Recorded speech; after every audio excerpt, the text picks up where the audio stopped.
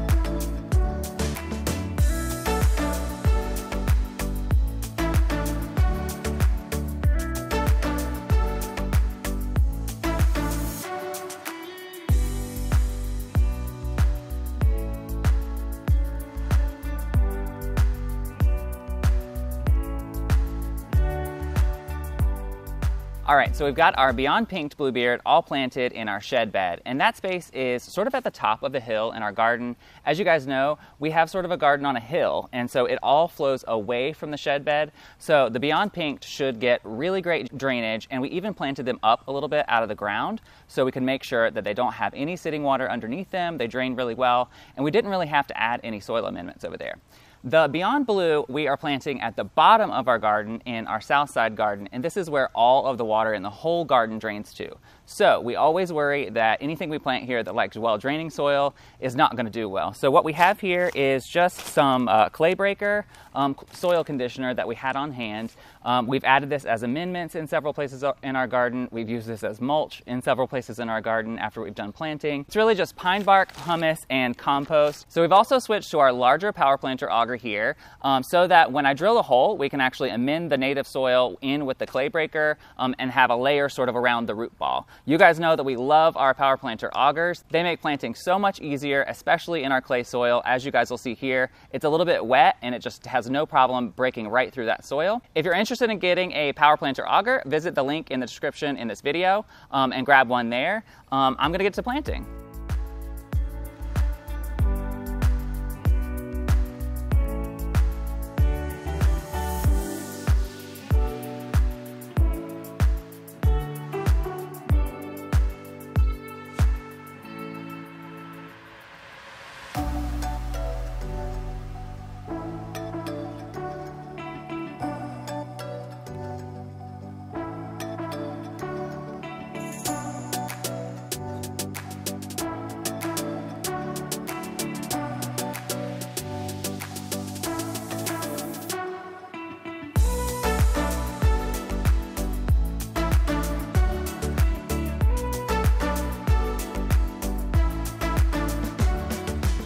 All right, guys, so we've got our bluebeard all planted in the ground in our shed bed and behind me in our south side garden. Yes, and they are looking really beautiful.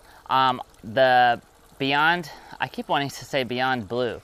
beyond midnight bluebeard is just about to bloom. There's little buds all over it, um, and then the pink will come a little bit later.